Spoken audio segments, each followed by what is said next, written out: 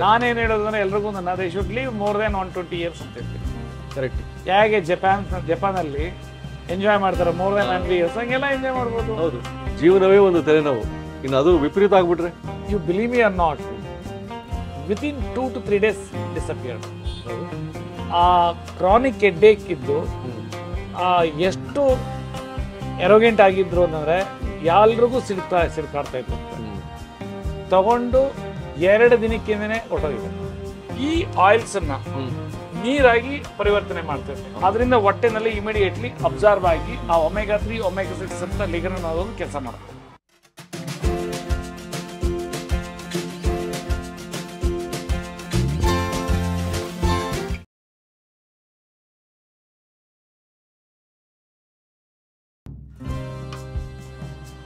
ನಮಸ್ಕಾರ ವೀಕ್ಷಕರೇ. ಪ್ರತಿಯೊಂದು ವಾರ ನಾನು ಕಾಯ್ತಾ ಇರ್ತೀನಿ, ನೀವು ಕಾಯ್ತಾ ಇರ್ತೀರಾ? ಡಾಕ್ಟರ್ ಎಸ್ ಎಂ ರಾಜು ಅವರು ಯಾವ ಸಮಸ್ಯೆ, ಯಾವ ರೋಗದ ಬಗ್ಗೆ ನಮಗೆ ಪರಿಹಾರ ಸೂಚಿಸ್ತಾರೆ ಅಂತ, ಪರಿಹಾರ ಕೊಡ್ತಾರೆ ಅಂತ, ಯಾವುದೋ ಒಂದು ಗಳಿಗೆಯಲ್ಲಿ ನಮಗೆ ತಲೆನೋವು ವಿಪರೀತವಾಗಿ ಕಾಡ್ತಾನೆ ಇರ್ತದೆ. ಅದು ಕೆಲವರಿಗೆ ಮೈಗ್ರೇನ್ ಆಗಿ ಕಾಡ್ತಾ ಇರ್ತದೆ. ಮೈಗ್ರೇನ್ ಅನ್ನೋದು ಒಂದು ದೊಡ್ಡ ಪಿಡುಗು. ಯಾವುದೇ ಒಂದು ಕೆಲಸದಲ್ಲಿ, ಒಂದು ಲೈಫಲ್ಲಿ ಡೇ ಟು ಡೇ ಆ್ಯಕ್ಟಿವಿಟಿಯಲ್ಲಿ ದಿನಚರಿಯಲ್ಲಿ ನಮಗೆ ಆಸಕ್ತಿನೇ ಇರೋದಿಲ್ಲ. ಈ ಮೈಗ್ರೇನ್ ಬಗ್ಗೆ ಡಾಕ್ಟರ್ ಎಸ್ ಎಂ ರಾಜು ಅವರ ಬಳಿ ಯಾವ ರೀತಿಯ ಒಂದು ಪರಿಹಾರ ಇದೆ. ನೋಡ್ಬಿಡೋಣ. ಸರ್ ನಮಸ್ಕಾರ. ನಮಸ್ಕಾರ. ಹೇಗಿದ್ದೀರಿ ಸರ್? ಚೆನ್ನಾಗಿದೆ. ವೀಕ್ಷಕರೇ ಜೀವನವೇ ಒಂದು ತಲೆನೋವು. ಇನ್ನು ಅದು ವಿಪರೀತ ಆಗ್ಬಿಟ್ರೆ ಮೈಗ್ರೇನ್ ಆಗಿಬಿಟ್ರೆ ಹಾಂ? ನಾವು ಆವಾಗ ಸರ್ ಹತ್ರ ಬರಲೇಬೇಕು. ಅದಕ್ಕೆ ಪರಿಹಾರ ಅವ್ರು ಏನು ಹೇಳ್ತಾರೆ ಆಹಾರವೇ ಪರಮೌಷಧಿ ಅದೆಲ್ಲ ಒಂದು ಪರಿಹಾರಗಳ ಸೂತ್ರಗಳನ್ನು ತಿಳ್ಕೊಬೇಕು. ಸರ್ ಮೈಗ್ರೇನ್ ನೋಡಿ ಮೈಗ್ರೇನ್ ಬಗ್ಗೆ ಎರಡು ಇನ್ಸಿಡೆಂಟ್ ಹೇಳ್ತೀನಿ. ಇಡೀ ವೀಕ್ಷಕರಿಗೆ ಅದು ಆಶ್ಚರ್ಯನೂ ಆಗುತ್ತೆ. ಅದಕ್ಕಿಂತ ಹೆಚ್ಚಾಗಿ ಶಾಕಿಂಗ್ ಆಗುತ್ತೆ ಈಗ ರಿಯಲಿಂಗ್ ಆಗುತ್ತಾ ಅಂತ. ಹ್ಮ್. ಒಬ್ರು mister Balamurali ಅವರಂತ. Is right now working with I B M I think is some ಏನೋ ಏಷ್ಯನ್ ಹೆಡ್ ಅಂತ ಕಾಣುತ್ತೆ. ನಮ್ದು ಯಾವುದೋ ಒಂದು ಪ್ರಾಜೆಕ್ಟ್ ಬಗ್ಗೆ ಡಿಸ್ಕಷನ್ ಮಾಡಬೇಕಾಗಿತ್ತು. ಸೊ ಹಾಗೇನೆ ಎರಡು ಮಾತ್ರೆ ತಗೊಳ್ತಾ ಇದ್ರು. ಸೊ ಯಾಕೆ ತಗೊಳ್ತಾ ಇರೋದ್ರೆ ಸರ್ ಮೂರು ವರ್ಷ ತಗೊಳ್ತಾ ಇದ್ದೀನಿ. ನನಗೆ ಮೈಗ್ರೇನ್ ಇದೆ ಅಂತಂದ್ರೆ. ಏ ಅದಕ್ಕೇನಂತ ನಾನು ಟ್ರೀಟ್ ಮಾಡ್ತೀನಿ. You believe me or not within two to three days disappeared ಆಮೇಲೆ ಇನ್ನೊಂದು ಹೇಳ್ತೀನಿ ಒಂದು ಸ್ಟೋರಿ ಆ ಸ್ಟೋರಿ ಹೇಳ್ತು ಅಂದರೆ ಯಾಕೆಂದರೆ ಆ ಹೋಪ್ಸ್ ಹೋಗಿರ್ತದಲ್ಲ? ಹೌದು. ಇಪ್ಪತ್ತು ವರ್ಷದಿಂದ ತಗೊಳ್ತಾ ಇದ್ದಾರೆ ಟ್ಯಾಬ್ಲೆಟ್ಸು ಇಪ್ಪತ್ತೈದು ವರ್ಷದಿಂದ ತಗೊಳ್ತಾ ಇದ್ದಾರೆ ಅದಿಲ್ಲ ಅಂದ್ರೆ ನಿದ್ದೆನೇ ಬರಲ್ಲ. ಸೊ ಅಂಥವ್ರಿಗೆಲ್ಲ ಒಂದು ಕಾನ್ಫಿಡೆನ್ಸ್ ಬರಲಿ ಅಂತ ನಾನು ಹೇಳ್ತಾ ಇರೋದು. ಕ್ರಾನಿಕ್ ಆಗ್ಬಿಟ್ಟಿರ್ತದೆ. ಹಾಂ. ಇನ್ನೊಬ್ಬ ಒಬ್ಬರು ಲೇಡಿ. ಹುಡುಗಿ ಏಯ್ಟೀನ್ ಇಯರ್ಸ್ ಓಲ್ಡ್ ಆ ಕ್ರಾನಿಕ್ ಹೆಡ್ಡೇಕ್ ಇದ್ದು ಆ ಎಷ್ಟು ಎರೋಗೆಂಟ್ ಆಗಿದ್ರು ಅಂತಂದ್ರೆ ಎಲ್ರಿಗೂ ಸಿಡ್ತಾ ಸಿಡ್ಕಾಡ್ತಾ ಇದ್ರು ಅಂತ ತಗೊಂಡು ಎರಡು ದಿನಕ್ಕಿಂದನೇ ಹೊರಟೋಗಿದೆ. ಇನ್ನೊಬ್ಬಂದು ಎಕ್ಸಾಂಪಲ್ ಹೇಳ್ತೀನಿ. ಅವನಿಗೆ ಕ್ರಾನಿಕ್ ಹೆಡ್ಡೇಕು ಸೀಜರು ಎಷ್ಟೋ ಸರಿ ಸೂಸೈಡ್ ಮಾಡ್ಕೊಳ್ಬೇಕು ಅಂತಿದ್ದ ಆ ಹುಡುಗ. ತಗೊಂಡ ನಾಲ್ಕರಿಂದ ಐದು ದಿನಕ್ಕಿನೇ ಡಿಸಪಿಯರ್ ಅಷ್ಟು ಪವರ್ಫುಲ್ ಏನು ಅಂದರೆ ನಾನು ಏನೀಗ ಡೆವಲಪ್ ಮಾಡಿದ್ದೀನಿ ಇದರಲ್ಲಿ ಅದು ಕೆಪಿಲರೀಸ್ ಅಂಡ್ ಮೈಕ್ರೋ ಕೆಪಿಲರೀಸ್ ಲೆವೆಲಲ್ಲಿ ವರ್ಕ್ ಆಗಿ ಅದು ಎಲ್ಲಿ ಬ್ಲಡ್ ಸರ್ಕ್ಯುಲೇಷನ್ ಇರಲ್ಲೋ ತಲೆಯಲ್ಲಿ ಅದು ಇಮಿಡಿಯೇಟ್ಲಿ ಆಗುತ್ತೆ ಅಂತ ನನ್ನ ಭಾವನೆ. ಆದ್ದರಿಂದ ಯಾರಿಗೆ ಕ್ರಾನಿಕ್ ಎಡ್ಡೇಕು ಅದನ್ನು ಮೈಗ್ರೇನ್ ಅನ್ಲಿ ಇನ್ನೊಬ್ಬರಿಗೆ ಇನ್ನು ಕೆಲವರಿಗೆ ಕಾರ್ಟೆಕ್ಸ್ ಕ್ಯಾಲ್ಸಿಫಿಕೇಶನ್ ಇರುತ್ತೆ. ಇಲ್ಲಿಂದ ಬ್ಲಡ್ ಸರ್ಕ್ಯುಲೇಷನ್ ಏನೋ ಹೋಗುತ್ತೆ ಅದು ಬ್ಲಾಕೇಜ್ ಇರುತ್ತೆ. ಒಂದು ಕಡೆ ಸ್ಟೆಂಟ್ ಹಾಕಿರ್ತಾರೆ ಇನ್ನೊಂದು ಕಡೆ ಹಾಕಿರಲ್ಲ. ಎರಡು ಕಡೆನೂ ಒಂದೇ ಸರಿ ಹಾಕೋದು ಟೆಕ್ನಿಕಲಿ ಫೀಸಿಬಲ್ ಅಲ್ಲ ಅಂತ ಹಾಕೋದಿಲ್ಲ. ಅಂಥವ್ರಿಗೆ ಸ್ಟಿಲ್ ತಲೆಯೆಲ್ಲನೂ ಸೆಕೆ ಬರ್ತಾ ಇರ್ತದೆ ಮತ್ತು ಸು ತಲೆ ಸುತ್ತಾ ಇರ್ತದೆ. ಅವ್ರಿಗೆಲ್ಲನೂ ಏನು ಜಸ್ಟ್ ಒಂದು ತಿಂಗಳು. ಒಂದು ತಿಂಗಳು. ಅಂದರೆ ಅಷ್ಟು ಫಾಸ್ಟಾಗಿ ಇದು ವರ್ಕ್ ಆಗುತ್ತೆ. ಹೌದು. ಈಗ ನೀವಂದ್ರಿ ಅದು ಒಂದು ಪ್ರೋಟೋಕಾಲ್ ಅಂತೀರಿ ನೀವು ಪದ್ಧತಿ. ಅದು ಏನಿದೆ ಸರ್ ಪ್ರೋಟೋಕಾಲ್ ಸಿ ಪ್ರೋಟೋಕಾಲಲ್ಲಿ ಅಲ್ಲಿ ಒಂದು ನಾನೇನು ಡೆವಲಪ್ ಮಾಡಿದ್ದೀನಿ ಆ ಸಪ್ಲಿಮೆಂಟ್ಸ್ ಯಾವ್ಯಾವ ಸಪ್ಲಿಮೆಂಟ್ಸ್ ಆ್ಯಂಟಿ ಏಜಿಂಗು ಹ್ಞೂ ಮತ್ತು ಇಮ್ಯೂನ್ ಕೇರು ಇದು ಮೂರು? ಇವು ಮೂರು. ಬೆಳಿಗ್ಗೆ ಮತ್ತು ಸಂಜೆ. ಜಾಸ್ತಿ ಸಿವಿಯರ್ ಆಗಿತ್ತು ಅಂದರೆ ಮಧ್ಯಾಹ್ನ ಕಾರ್ಡಿವ್ಯಾಸ್ಕ್ಯುಲರ್ ಮತ್ತು ಲಿವರ್ ಕೇರ್. ಓ ಲಿವರ್ ಕೇರ್ ಒಂದು ನಾಲ್ಕನೇದು. ಹಾಂ ಅದು ಜಾಸ್ತಿ ಸಿವಿಯರ್ ಇತ್ತು ಅಂದ್ರೆ ಹ್ಞೂ ನಾನು ಹೇಳೋದು minimum anti ageing cardiovascular immune care ಅಲ್ಲದೇ ಹೊಟ್ಟೋಗುತ್ತೆ ಅದೇ ಪ್ರೋಟೋಕಾಲ್ ಅಲ್ಲಿ ಬಿ ಪಿ ಇದ್ರೆ ಅದು ನಾರ್ಮಲ್ ಆಗುತ್ತೆ. ಡಯಾಬಿಟಿಸ್ ಇದ್ರೆ ಅದು ನಾರ್ಮಲ್ ಆಗುತ್ತೆ.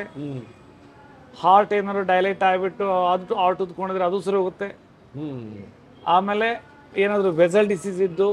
ಬ್ಲಾಕೇಜಸ್ ಇದ್ರೆ ಅದು ಸರಿ ಹೋಗುತ್ತೆ ಸೊ ಅವರು ಯಾವ ಒಂದು ಕೊಲೆಸ್ಟ್ರಾಲ್ ಟ್ಯಾಬ್ಲೆಟು ಬೇಕಾಗಿಲ್ಲ, ಯಾವುದು ಬ್ಲಡ್ ತಿನ್ನರು ಬೇಕಾಗಿಲ್ಲ. ಈಗ ಇವತ್ತೊಂದು ಒಬ್ಬರು ಪೇಷಂಟ್ ನೋಡಿದೆ. ಅವರು ಅರವತ್ತೊಂಬತ್ತು ವರ್ಷ ವರ್ಷ ವಯಸ್ಸು. ಡೈಲೆಟೆಡ್ ಕಾರ್ಡಿಯೋಮಯೋಪತಿ ಅವ್ರು ಹೇಳ್ತಾ ಇದ್ರು, ಒಬ್ಬ ಡಾಕ್ಟ್ರು ಕಾರ್ಡಿಯಾಲಜಿಸ್ಟು ಎಲ್ಲ ಡ್ರಾಪ್ ಮಾಡಿಸಿದಂತೆ ಔಷಧಿನ. ಬಿ ಪಿದು ಬಿಟ್ಟು ಅವರಿಗೆ ಕೊಲೆಸ್ಟ್ರಾಲ್ ಟ್ಯಾಬ್ಲೆಟು ಬ್ಲಡ್ ತಿನ್ನರು ಮತ್ತು ಡೈರಿಟಿಕ್ ಟ್ಯಾಬ್ಲೆಟ್ಸ್ ಎಲ್ಲ ಡ್ರಾಪ್ ಮಾಡಿಸಿದ್ರು ಅಂತೇಳಿ ಓಕೆ ನಾನು ನನಗೆ ಹೇಳಕ್ಕೆ ಹಿಡಿದ್ರು ನನಗೆ ಖುಷಿ ಆಯಿತು. ಸೇಮ್ ನಾನು ಎಲ್ರಿಗೂ ಅದೇ ಹೇಳೋದು. ಸೊ ಆದ್ದರಿಂದ ಒಂದು ಹೇಳೋದೇನೆಂದರೆ ಅದು ಎಂಥ ಕ್ರಾನಿಕ್ ಹೆಡೇಕ್ ಇರಲಿ ಮೈಗ್ರೇನ್ ಇರಲಿ ಚಿಂತೆ ಮಾಡೋದೇನು ಬೇಕಾಗಿಲ್ಲ. ನೋಡಿ. ಫಸ್ಟು ನನ್ನ ಸಪ್ಲಿಮೆಂಟ್ ಅಲ್ದೇನೆ. ಅಲ್ಲದೆ ಅಥವಾ ನನ್ನ ಸಪ್ಲಿಮೆಂಟ್ ಬೇಡ. ಬೆಳ್ಳುಳ್ಳಿ ಶುಂಠಿ ತಗೊಳ್ಳಿ. ಹಸಿ ತರಕಾರಿ ಜ್ಯೂಸ್ ತಗೊಳ್ರಿ. ಮತ್ತೆ ಬನಾನಾ ಸ್ಟೆಮ್ ಜ್ಯೂಸು ಬಾಳೆಹಣ್ಣು ದಂಟ್ರಸ್ ತಗೊಳ್ಳಿ ಊಟದಲ್ಲಿ ಫ್ರೈಡ್ ಐಟಮ್ಸ್ ಕಡಿಮೆ ಮಾಡಲಿ. ಉಪ್ಪನ್ನ ಐದು ಗ್ರಾಮ್ ಮೇಲೆ ತಗೊಳ್ಳೋದು ಬೇಡ. ಇವರು. ಹಾ ಎಣ್ಣೆ ಬೆಣ್ಣೆ ತುಪ್ಪ ಅದೆಲ್ಲದನ್ನ ಕಡಿಮೆ ಮಾಡಲಿ ಒಗ್ಗರಣೆ ಬಿಟ್ಟರೆ ಅಂದರೆ ಬಡವರು ಊಟ ಆಗಿರಲಿ ಇವನ್ ನನ್ನ ಸಪ್ಲಿಮೆಂಟ್ ಇಲ್ದಿದ್ರು ಅವ್ರ ರಿಸಲ್ಟ್ ಬರುತ್ತೆ. ನೋಡಿ. ನನಗೇನು ಅವರು ಲೈಫ್ ಟೈಮ್ ಅದರಿಂದ ಮುಕ್ತಿ ಬರಬೇಕು ಆ ಒಂದು ಪ್ರಾಬ್ಲಮ್ ಇಂದ. ನಂದು ತಗೊಂಡ್ರೆ ಎರಡು ದಿನದಿಂದ ಮೂರು ದಿನನೇ ಹೊಟ್ಟೋಗಿರ್ತದೆ ಮ್ಯಾಕ್ಸಿಮಮ್ ಒಂದು ವಾರ ಹೊಟ್ಟೋಗಿರ್ತದೆ ಅದು ಇವನ್ ಇಪ್ಪತ್ತು ವರ್ಷ ಆಗಿದ್ರು ಒಂದು ವಾರಕ್ಕೆ ಅವ್ರಿಗೆ ದೇ ವಿಲ್ ಸಿ ದಟ್ ಸೀಚೆ ಸೂಪರ್ ಇಪ್ಪತ್ತು ವರ್ಷ ಇರೋದು. ಯಾಕೆಂದ್ರೆ ನಾನು ಏನು ಹೇಳ್ತೀನಿ ನಾನು ಅದಕ್ಕೇನೆ ಕೆಲವು ಯುನಿಕ್ ಡಿಸಾರ್ಡರ್ಸ್ ಏನಿರ್ತದೆ ಅವ್ರಿಗೆ ನಾನು ನನ್ನ ನಂಬರ್ ಕೊಡ್ತೀನಿ. ನಿಮ್ಗೆ ಎಷ್ಟು ಬೇಗ ಚೆನ್ನಾಗೋ ಚೆನ್ನಾಗೋದನ್ನು ನನಗೆ ಗೊತ್ತು. ಎಷ್ಟು ಬೇಗ ಆಗುತ್ತೆ ನನಗೆ ಹೇಳ್ಬೇಕು ಅಂತ ಹೇಳ್ತೇನೆ. ಕರೆಕ್ಟ್ ಇಲ್ಲಾಂದ್ರೆ ಪೇಷಂಟ್ ಸರೋದ ಮೇಲೆ ಹೇಳಲ್ಲ ಮರ್ತೋಗ್ಬಿಡ್ತಾರೆ. ಹೌದು. ನಾನು ಹೇಳಿದ್ದೆ ಅಂದ್ರೆ ಅವರು ಫೀಡ್ಬ್ಯಾಕ್ ಕೊಡ್ತಾರೆ. ಸರಿ. ಅವ್ರು ಏನು ಫೀಡ್ಬ್ಯಾಕ್ ಕೊಡ್ತಾರೆ ಅದ್ರ ಒಂದು ಆಧಾರದಲ್ಲೇ ನಾನು ಇದನ್ನು ನಿಮ್ಗೆ ಹೇಳ್ತಾ ಇರೋದು. ಆಮೇಲೆ ಡೇ ಒಂದಿಂದನೇ ಮಾತಾಡಿಬಿಡೋರು. ಹ್ಮ್ ಡೇ ಒನ್ನಿಂದನೇ ವೀಕ್ಷಕರೇ ನಾವು ಇದು ಎಪಿಸೋಡ್ಗಳು ಮಾಡ್ತಾನೆ ಇದ್ದೀವಿ ಸರ್ ಹೇಳ್ತಾನೆ ಇದ್ದಾರಲ್ಲ ಪ್ರತಿ ಸಲನೂ ಅದು ಎಫೆಕ್ಟಿವ್ ಆಗಿರುತ್ತೆ ಡೇ ಒನ್ನಿಂದ ಅಂತ.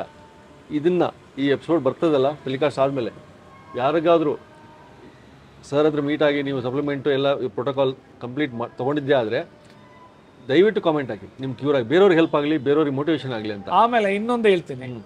ನನಗೋಸ್ಕರ ವೆಯ್ಟ್ ಮಾಡೋದೇನು ಬೇಕಾಗಿಲ್ಲ ಯಾಕೆಂದರೆ ನಾನು ಒಬ್ಬನೇ ಒಂದೊಂದು ಟೈಮ್ ಐವತ್ತು ಪೇಷಂಟ್ಸು ಅರವತ್ತು ಪೇಷಂಟ್ಸು ನೂರು ಪೇಷಂಟ್ಸು ಬಂದ್ಬಿಡ್ತಾರೆ. ಏನಂದ್ರೆ ಎಲ್ಲ ಕಡೆ ಡಾಕ್ಟರ್ಸ್ ಇದ್ದಾರೆ ನಮ್ಮವರು. ಎಲ್ಲ ಕ್ಲಿನಿಕ್ಸ್ ಇದೆ. ಇಲ್ಲಿ ಮಂಗಳೂರಿನಲ್ಲಿದೆ ಮೈಸೂರಿನಲ್ಲಿದೆ ದಾ ಇದು ಏನು ಶಿವಮೊಗ್ಗದಲ್ಲಿದೆ ಹುಬ್ಳಿನಲ್ಲಿದೆ. ಆಮೇಲೆ ಜೆ ಪಿ ನಗರ ಮತ್ತೆ ಎಲ್ಲ ಕಡೆ ಇದೆ ಏನೋ ನಾಗರಬಾವಿ. ಆಮೇಲೆ ನಮ್ಮ ಹೆಡ್ ಕ್ವಾರ್ಟರ್ಲೂ ಮೂರ್ನಾಲ್ಕು ಡಾಕ್ಟರ್ ಇರ್ತಾರೆ.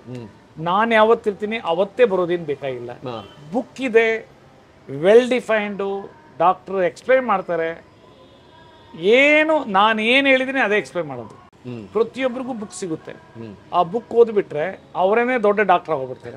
ಅವ್ರ ಮನೆಯಲ್ಲಿ ಯಾರಿಗೂ ಯಾವ ರೋಗನೂ ಬರೋದಿಲ್ಲ. ಆ ಬುಕ್ಕನ್ನು ಓದಿ ಅರ್ಥ ಮಾಡಿಕೊಂಡು ಆಹಾರವನ್ನ ಒಂಥರ ಮಹಾ ಔಷಧಿ ಮಾಡ್ಕೊಂಡ್ರೆ ಆಯ್ತು.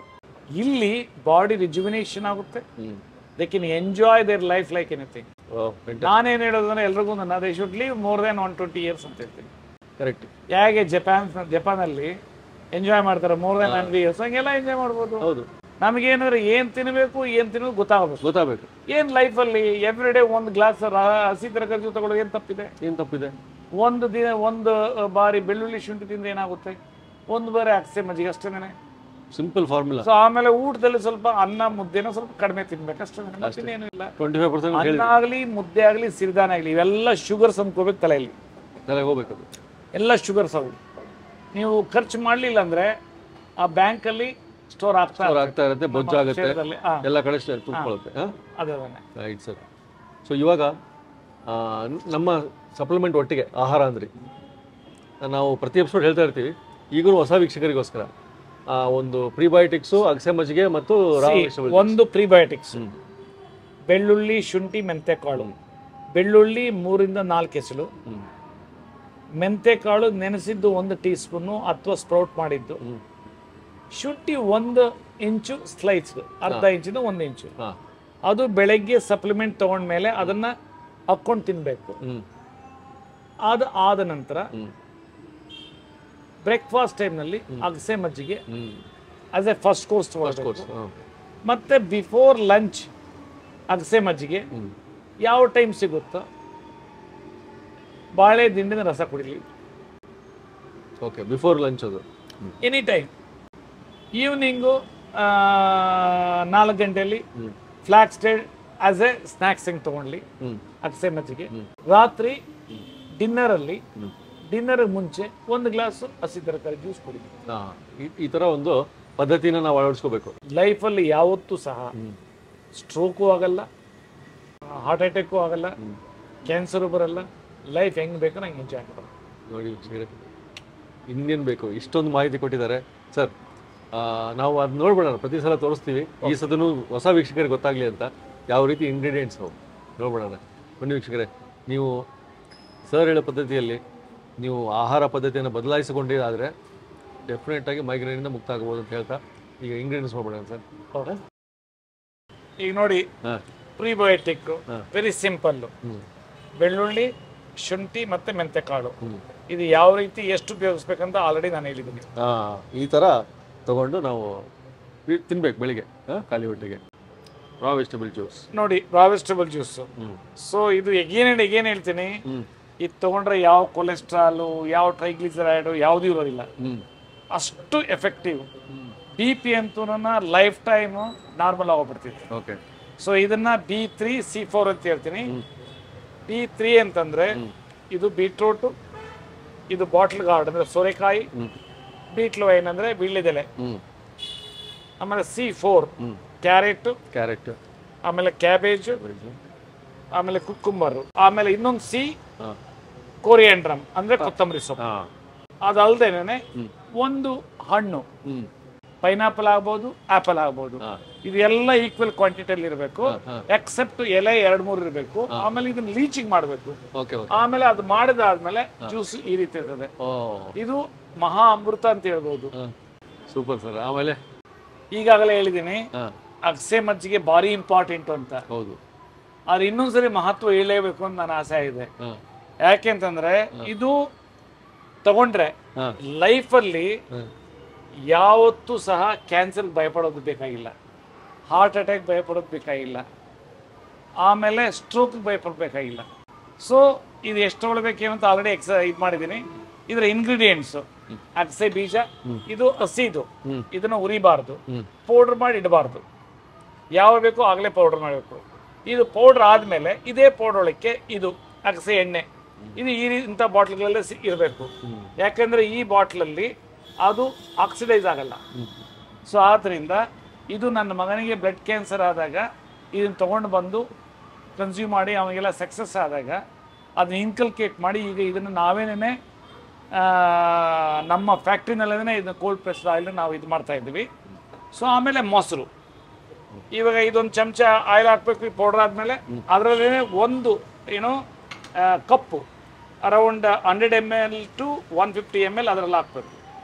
ಅದು ಹಾಕಿ ಮಿಕ್ಸ್ ಮಾಡಬೇಕು ಮಿಕ್ಸಿನಲ್ಲಿ ಕೈಯಲ್ಲಿ ಸುಮ್ಮನೆ ಚಮಚದಲ್ಲಿ ಮಿಕ್ಸ್ ಮಾಡೋದಲ್ಲ. ಆ ಮಿಕ್ಸಿನಲ್ಲಿ ಮಿಕ್ಸ್ ಮಾಡೋದು ಯಾಕೆ ಅಂತಂದ್ರೆ ಈ ಒಂದು ಮೊಸರು ಈ ಆಯಿಲ್ಸ್ ಅನ್ನ ಹ್ಞೂ ನೀರಾಗಿ ಪರಿವರ್ತನೆ ಮಾಡ್ತದೆ. ಅದರಿಂದ ಹೊಟ್ಟೆನಲ್ಲಿ ಇಮಿಡಿಯೇಟ್ಲಿ ಅಬ್ಸರ್ವ್ ಆಗಿ ಆ ಒಮೆಗಾ ತ್ರೀ ಒಮೆಗಾ ಸಿಕ್ಸ್ ಅಂತ ಲಿಗನ್ ಅನ್ನೋದು ಕೆಲಸ ಮಾಡುತ್ತೆ ಅಗಸೆ ಮಜ್ಜಿಗೆನೂ ಹೇಳ್ಬಿಟ್ರಿ. ಇದು ಅನದರ್ ಸೂಪರ್ ಫುಡ್ ಇದು. ಎಸ್ ಸರ್ ಈ ಒಂದು ಬಾಳೆ ದಿಂಡು ಎಷ್ಟು ಮಹತ್ವ ಅಂತಂದ್ರೆ ಈಗ ಮ್ಯಾಂಗ್ಳೂರಿಯನ್ಸ್ ಎಲ್ಲ ಇದ್ರದ್ದು ಸಬ್ಜಿನೂ ಮಾಡ್ಕೊಳ್ತಾರೆ. ಸೊ ಇದೇನು ಅಂತಂದ್ರೆ ಬೇಸಿಕಲಿ ಬ್ಲಾಕೇಜಸ್ ಅನ್ನ ಕ್ಲಿಯರ್ ಮಾಡುತ್ತೆ ಅಂತ ನನ್ನ ಒಂದು ನನ್ನ ಒಂದು ಭಾವನೆ. ಇಲ್ಲ ಅಂದ್ರೆ ಕಿಡ್ನಿ ಸ್ಟೋನ್ ಅಂತ ಸ್ಟೋನ್ ಅನ್ನೇ ಕರಗಿಸುವಂತಹದ್ದು ಬ್ಲಾಕೇಜ್ ಅದು ಕ್ಯಾಲ್ಸಿಫಿಕೇಶನ್ ಫಾರ್ಮೇಶನ್ ಇದು ಸಿಂಪಲ್ ಇದನ್ನ ಜ್ಯೂಸ್ ಮಾಡ್ದ ಎರಡು ಸರಿ ಕುಡ್ದ. ಯಾವ ಬೇಕಾದ್ರೂ ಅದ್ರಲ್ಲಿ ಬೇಕಾದ್ರೆ ಒಂದು ಚಮಚ ಬಟರ್ ಮಿಲ್ಕ್ ಹಾಕೊಂಡು ಹಾಕ್ಕೊಳ್ಬೋದು. ಹ್ಞೂ ಒಂದು ಅರ್ಧ ಅಥವಾ ಅರ್ಧ ಲೆಮನ್ ಜ್ಯೂಸ್ ಆದ್ರೂ ಹಾಕೊಳ್ಬಹುದು ಸರ್ ಧನ್ಯವಾದ ಸರ್. ಒಳ್ಳೆ ಮಾಹಿತಿ ಕೊಟ್ರಿ. ಮೈಗ್ರೇನ್ ಬಗ್ಗೆ. ವೀಕ್ಷಕರೇ ತಲೆನೋವು ತಲೆನೋವು ಕಾಡ್ತಾ ಇರ್ತದೆ. ಪೇಡಂಭೂತ ಥರ ಮೈಗ್ರೇನು ಇವತ್ತು ಪರಿಹಾರ ಸಿಕ್ತು ಅನ್ಕೊಂಬಿಡಿ. ಸರ್ ಹೇಳಿದ್ರೆ ಪ್ರತಿಯೊಂದು ಪದ್ಧತಿಗಳನ್ನು ಅಳವಡಿಸ್ಕೋಬೇಕು ಅಂದರೆ ಇದೆಲ್ಲ ಫಾಲೋ ಮಾಡ್ಬೇಕು ನೀವು. ಸೊ ಈ ವಿಡಿಯೋನ ಸಾಕಷ್ಟು ಶೇರ್ ಮಾಡಿ ಲೈಕ್ ಮಾಡಿ ಸಬ್ಸ್ಕ್ರೈಬ್ ಮಾಡಿದಿರೋದು ಸಬ್ಸ್ಕ್ರೈಬ್ ಮಾಡಿ. ಒಳ್ಳೊಳ್ಳೆ ರೆಸಿಪಿ ಬರ್ತವೆ, ಒಳ್ಳೊಳ್ಳೆ ಈ ಥರ ವೀಡಿಯೋ ಬರ್ತವೆ ಟೇಕ್ ಕೇರ್